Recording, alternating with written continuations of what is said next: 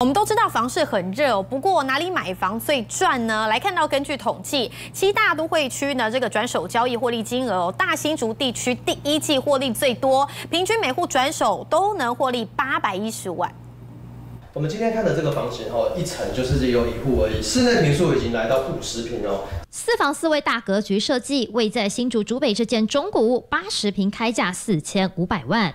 屋主在十年前买进了这个物件，当时单坪是一字头。由于附近临近了新竹 AI 智慧园区与台源科技园区，现在单坪已经来到了五字头。新竹人他们的薪资层段其实差距很大。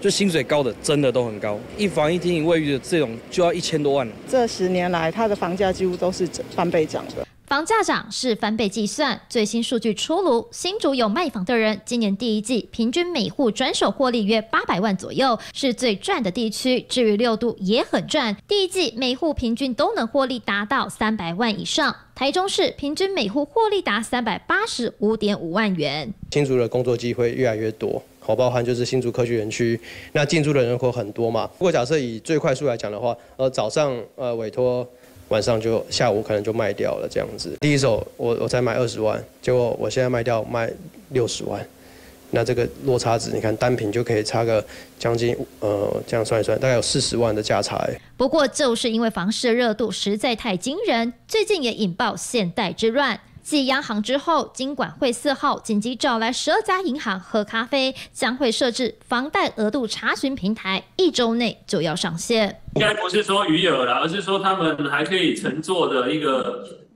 有或没有的一个情况啊，就是有额度没有额度的这个情况。整个建制，我们是希望越快越好了。是在九月中，呃，会尽快。再次强调，会优先放款给首购族，适度控管，但仍不是保证都能贷得到款。东森财经新闻郑志伟、邱小倩新竹报道。看盘不中断，赶快来按赞！东森财经二十四小时股市直播来喽！快点扫 Q R code 加入，让我们来陪着你们看盘。